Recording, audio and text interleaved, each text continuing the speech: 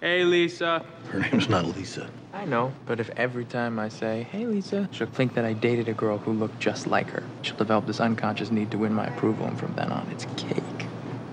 Damn. Why would you want to be a pharmaceutical rep? That pays over 100 grand a year, that's why. Hello, ladies. Hello, gorgeous. Oh, wait. Yep, there's another one. If the patient asks, you're an intern. Hi. I'm Dr. Knight. And who are you? Jamie Randall, intern. Well, let's have a look. You're a crap! You let me take my shirt on you! Wait. Ah! Wait. Okay, I apologize. Let me take you out for a cup of coffee. Strong eye contact, implied intimacy. You're good. So what does this mean? Actually, this is me being nice. You have beautiful eyes. That's it? That's the best you got? This isn't about connection for you. This isn't even about sex for you. This is about finding an hour or two of relief from the pain of being you. And that's fine with me because all I want's the exact same thing.